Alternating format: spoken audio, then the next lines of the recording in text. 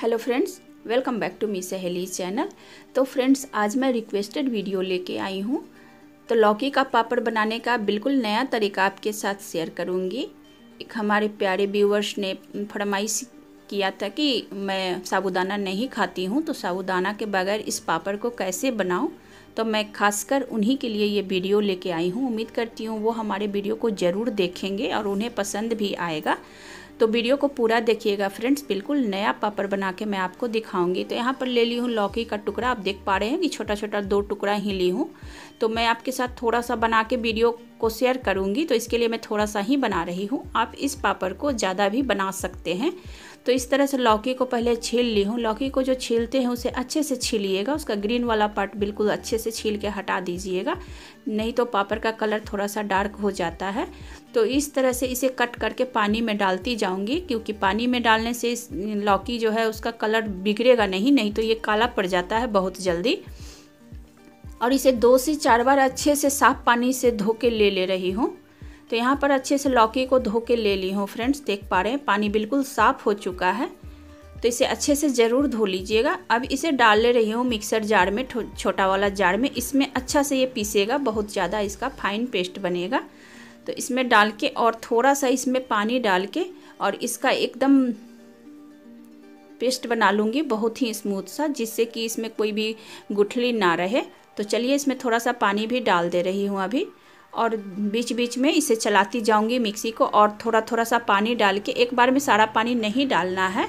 नहीं तो ये गोल गोल सा घूमते रहता है जाड़ में तो इसमें थोड़ा थोड़ा सा पानी डाल के इसे पीस के ले आती हूँ। तो देखिए फ्रेंड्स, यहाँ पर अच्छे से लौकी का पेस्ट बना ली हूँ। अब इसे छन्नी से छान ले रही हूँ, क्योंकि इसमें कुछ ना कुछ तो गुठली रह ही जाता है।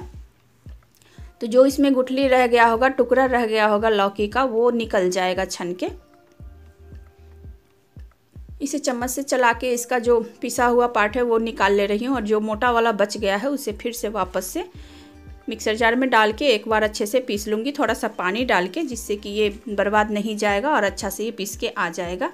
तो देखिए फ्रेंड्स, अच्छे से इसे पीसने के बाद कुछ इस तरह का लौकी हमारा पेस्ट बन चुका है पीस के अच्छे से। अब इसे बनाने के लिए ले ले रही हूँ बर्तन। जिस बर्तन में हमें पापड़ बनाना है तो ध्यान रखिएगा कि थोड़ा बर्तन जो लीजिएगा, उसका तल्ले थोड़ा सा मोटा हो, बहुत ज़्यादा पतला वाला बर्तन नहीं लीजिएगा। तो इस पेस्ट को पहले नाप ले रही हूँ। क्योंकि नए तरीके से पापड़ बना रही हूँ तो थोड़ा सा अच्छे से बनाना पड़ेगा, जिससे कि आप लोग अच्छे से समझ पाएँ। तो फ्रेंड्स, चैनल पे नए हैं तो हमारे चैनल को ज़रूर से ज़रूर सब्सक्राइब कर लीजिएगा। और आने वाले वीडियो देखना चाहते हैं तो नोटिफिकेशन बेल और ऑल दोनों पे क्लिक ज़रूर कीजिएगा, तभी आप हमारे वीडियो को देख पाइएगा। और भी अभी आगे बढ़िया बढ़िया वीडियो आने वाला है तो वो देखने के लिए झटपट से हमारे चैनल को सब्सक्राइब कर लीजिए फ्रेंड्स अभी इसमें लौकी वाला जो अभी नाप के दिखाई हूँ, उसमें और पानी डाल दे रही हूँ तो अभी इस बर्तन में ही पानी डाल दे रही हूँ और इसे भी धो के डाल दूँगी। तो ये मिला के कुल तीन ये और दो सादा पानी तो पाँच कप इसमें पानी डाल चुकी हूँ। आप किसी भी बर्तन से ये नाप लीजिएगा। कप या कटोरी, कोई भी चीज़ से आप नाप सकते हैं। अब इसे चढ़ा दी हूँ चूल्हे पे। चूल्हे पे चढ़ाने के बाद इस लिक्विड को थोड़ा देर पहले पकने दूँगी।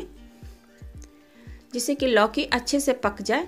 ज़्यादा देर रख लीजिएगा लौकी को इस तरह से पीस के तो ये बहुत ज़्यादा काला सा हो जाता है। तो इसे जल्दी से मैं झटपट से ये चीज़ कीजिएगा आप, झटपट से इसे पीस के और चूल्हे पे चढ़ा दीजिएगा।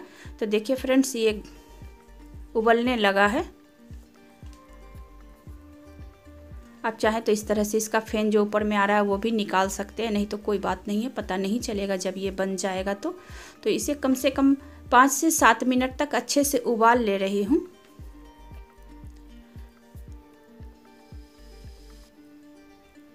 तो देखिए फ्रेंड्स, ये अच्छे से उबल गया है। अभी मैं गैस को एकदम लो कर दे रही हूँ, गैस के फ्लेम को।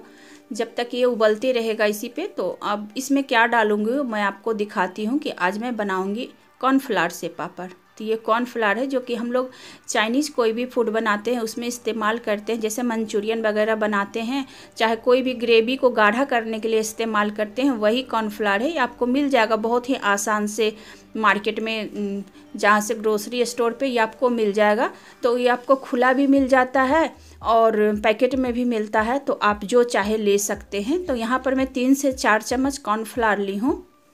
और इसे पानी डाल के, एक कप पानी डाल के और इसे अच्छे से घोल ले रही हूँ। तो इसमें एक कप पानी और भी आप डाल सकते हैं, लेकिन इसे अच्छे से घोल लेना है क्योंकि ये बहुत जल्दी नीचे बैठ जाता है। तो यहाँ पर चार चम्मच कुल, खाने वाला चम्मच जो होता है ना, उससे मैं चार चम्मच कॉर्नफ्लावर ली हूँ। आप ज़्यादा बना रहे हैं लौकी का तो उसमें कॉर्नफ्लावर भी ज़्यादा ही लगेगा।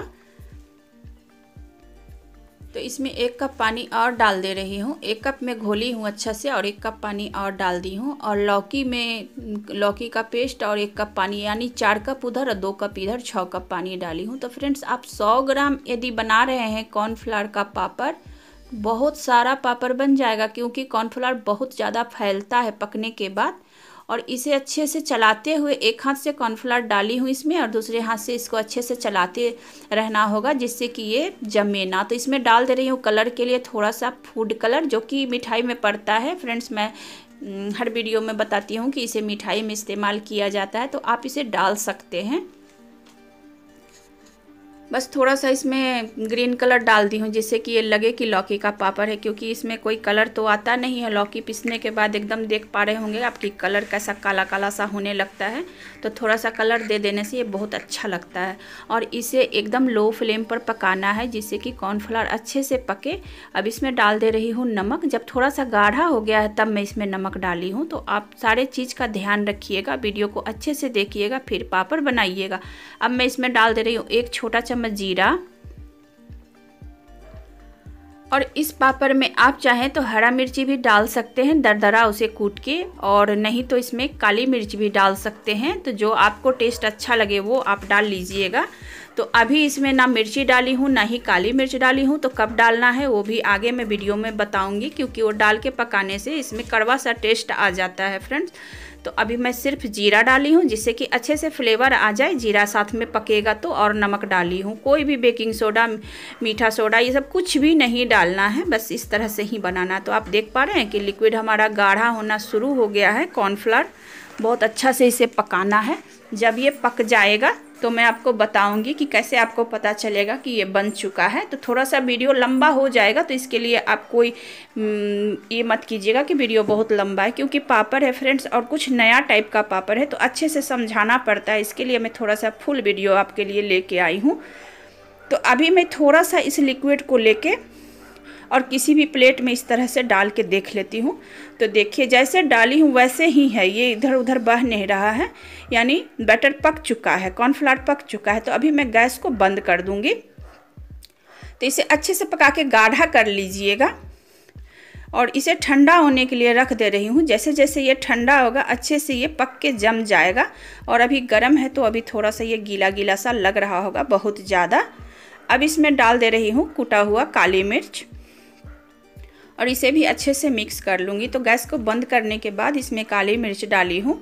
आप इसमें लाल मिर्च का पाउडर भी जैसा आप चटपटा इसे बनाना चाहते हैं, इसमें कोई भी मसाला आप डाल सकते हैं। ऐसा कुछ नहीं है कि इसमें यही जो मैं डाली वही पड़ेगा। आप इसमें हरी मिर्च धनिया पत्ती ये सब भी डाल सकते हैं। बहुत अच्छा लगेगा इसका फ्लेवर तो अब इसे ठंडा कर ली हूँ और देखिए कि ठंडा होने के बाद ये जम सा गया। आप देख पा रहे हैं? तो ऐसे करके आप पकाइएगा कि जमने के बाद कुछ इस तरह से हो जाए, बहुत ज़्यादा पतला ना रहे।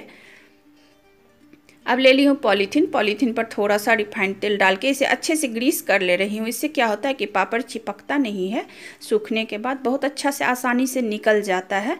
अब इसमें थोड़ा थोड़ा छोटा छोटा सा पापड़ मैं बना ले रही हूँ।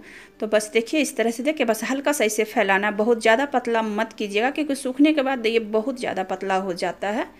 बस इस तरह से हल्का सा फैला ले रही हूँ और छोटा छोटा सा इसका पापड़ बना के आपको दिखा रही हूँ। तो मात्र चार चम्मच कॉर्नफ्लावर ही डाली हूँ और छोटा सा टुकड़ा लौकी का और देख पा, देखिए आप आगे कि कितना पापड़ बन के हमारा तैयार होता है। साइज़ बहुत ज़्यादा बड़ा बड़ा मत बनाइएगा, जैसे मैं बना के दिखा रही हूँ, बिल्कुल वैसे ही बनाइएगा। तो देखिए फ्रेंड्स, यहाँ पर सारे पापड़ को बना के डाल दी हूँ सूखने के लिए। अभी तो धूप उतना अच्छा आता नहीं है तो अभी मैं घर में ही इसे बना के पंखे के हवा में छोड़ दी हूँ। जब धूप आएगा तो धूप में अच्छे से सुखा के इसे तैयार कर लूँगी, जिससे कि लंबे समय तक पापड़ ख़राब ना हो। तो सूखने के बाद आपसे मिलती हूँ।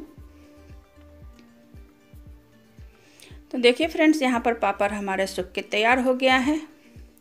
और पापड़ सूखने के बाद काफ़ी पतला हो गया है तो मैं आपको हाथ में लेके दिखाती हूँ कि पापड़ हमारा कितना पतला हुआ है। देखिए कॉर्नफ्लावर का पापड़ है तो ऐसा ही पतला बनेगा। आप देख पा रहे होंगे, आर पार हमारा उंगली आपको दिख रहा होगा। एकदम शीशा के जैसा चमकदार पापड़, एकदम पतला पतला सा बना है। तो इसी से इसे ज़्यादा फैलाना नहीं है, बस डाल के थोड़ा सा कलछी से उसे सेप दे के छोड़ दीजिए और ऐसा पापड़ आपका बन के तैयार हो जाएगा। तो चलिए, आप पापड़ को फ्राई कर लिया जाए। पापड़ फ्राई करने के लिए तेल को गर्म कर ली हूँ और इसमें डाल दी हूँ पापड़ को। तो पापड़ काफ़ी पतला है तो इसे थोड़ा सा ध्यान से आप फ्राई कीजिएगा। और खाने में इसका टेस्ट बहुत ही अच्छा लगता है। तो फ्रेंड्स, उम्मीद करती हूँ आपको ये वाली वीडियो अच्छी लगी होगी और चैनल पर नए होंगे तो आप ज़रूर हमारे चैनल को सब्सक्राइब कीजिएगा। तो इसी तरह के मैं नई नई रेसिपी आपके लिए लाती रहूँगी। तो फ्रेंड्स वीडियो देखने के लिए बहुत बहुत धन्यवाद। मिलती हूँ अगले वीडियो में फिर से एक नई रेसिपी के साथ। Thank you